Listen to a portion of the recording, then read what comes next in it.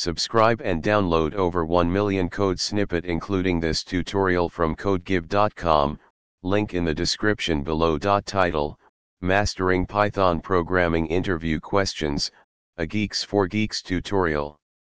Introduction Python has become one of the most popular programming languages, and mastering it is essential for success in programming interviews.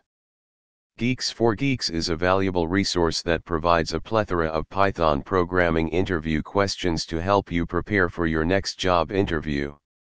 In this tutorial, we will explore some common Python interview questions from GeeksforGeeks and provide detailed explanations along with code examples.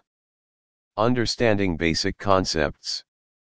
Before diving into specific interview questions, let's cover some fundamental Python concepts that are frequently tested in interviews.